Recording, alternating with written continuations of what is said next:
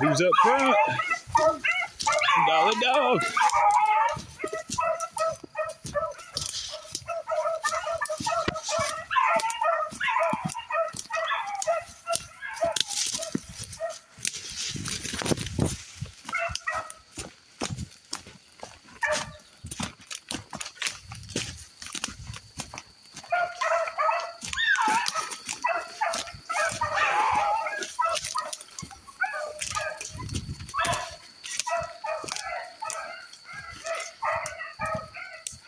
Can't keep up with that.